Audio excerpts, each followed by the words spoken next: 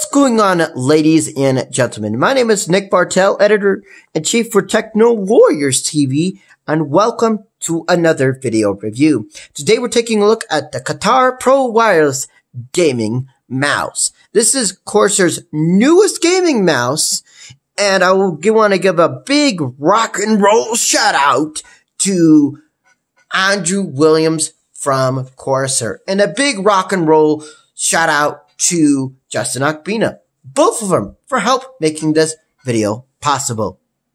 Now, Andrew Williams' call sign is Holiday, and Justin Akbina's call sign is jester or jester.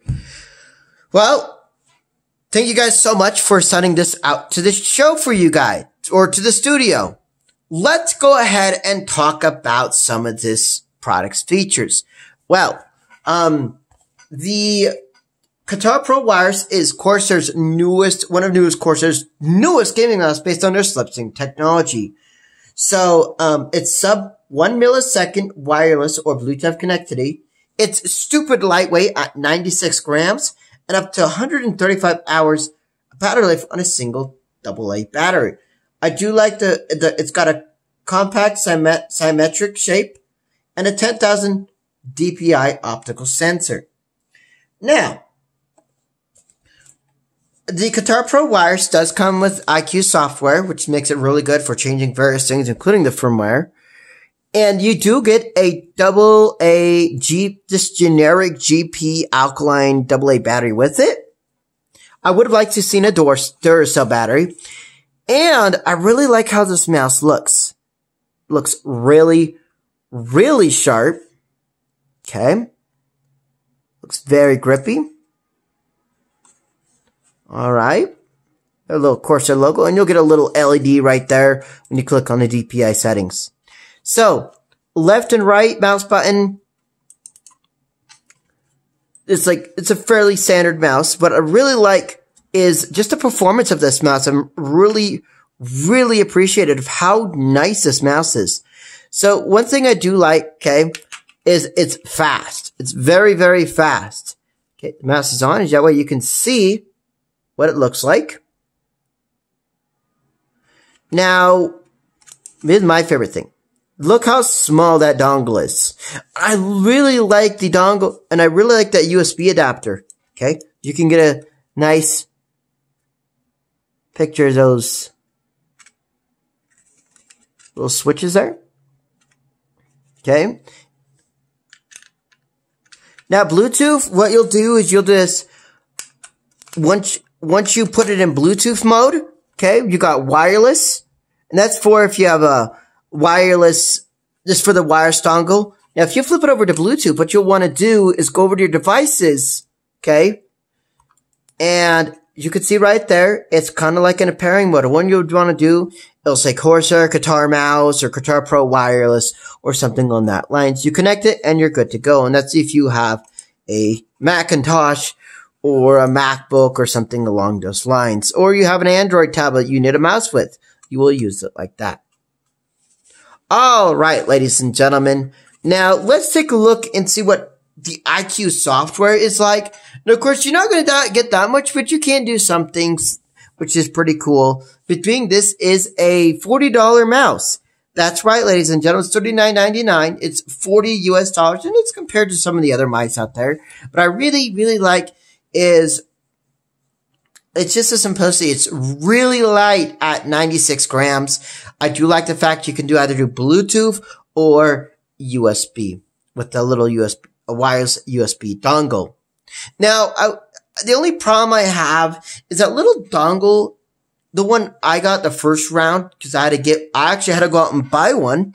This is a review sample, but I actually had to buy a Katar Pro wireless in an emergency because my Logitech G502 bit the bit the dust. So, I would have to say I'm really, really impressed with this mouse. Let's go ahead and head over to the computer. We'll show you the iCUE software real quick. And we'll head back over here and tell you what I thought about this mouse. Alright, ladies and gentlemen, let's take a peek at Corsair iCUE software and let's see what treats and settings the Katar Pro Wireless Gaming Mouse has for us. So, this is the software portion of this review. And before I want to start, I want to give a big rock and roll Techno Warriors TV shout out to Darren N E I T A. That is right. A big, awesome shout out and thank you for your support. And I'm glad that you like the channel. Enjoy the videos here. We have more fun content coming soon. So, once again, a big shout out to you, Darren N E I T A. Have a awesome Thanksgiving and have an awesome week. Well, let's take a look at what we have here. Now, this is where you would normally have everything, like you'll have your all your devices that do support iCUE like computer peripherals, mouse, keyboards, headset, headset stands, uh, RGB equipment, RGB strips, RAM, and anything else. Now the cool thing with Core Asus with the Aurora with the Ace with the Asus RGB syncing software with the latest version of iCUE installed, they have teamed up so you can actually control your Asus ROG lighting here, which is really fun. Now, the Katar Pro Wireless Gaming Mouse does have a couple features. Not that much, but you can go in here to performance, DPI, and this goes all the way up to 10,000. Now, well, the one thing that is our that is multicolored it's not really multicolored, but you can change the color on it. It's a DPI switch, the DPI button on the bottom near the scroll wheel. Now, if we go into settings, we have something here. We have the connection status. We have our battery, which is high.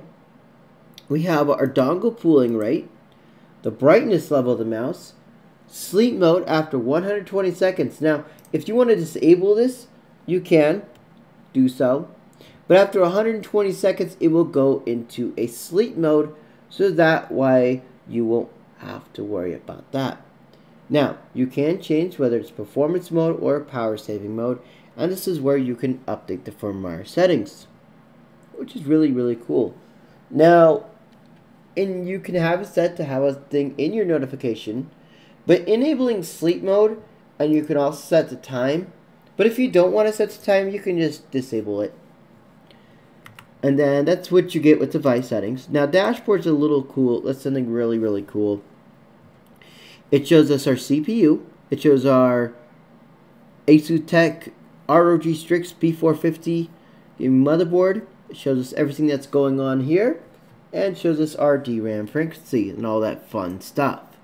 So, Ladies and gentlemen, that is the software portion of the Corsair Katar Pro Wireless Gaming Mouse review. And once again, a big thank you and shout out to Darren N.E.I.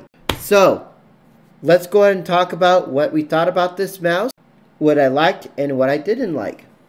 All right, ladies and gentlemen, what did I think about this mouse? Now, I thought it was actually a really really excellent mouse for 40 US dollars. You're getting a lot. You're getting 10,000 DPI, optical sensor.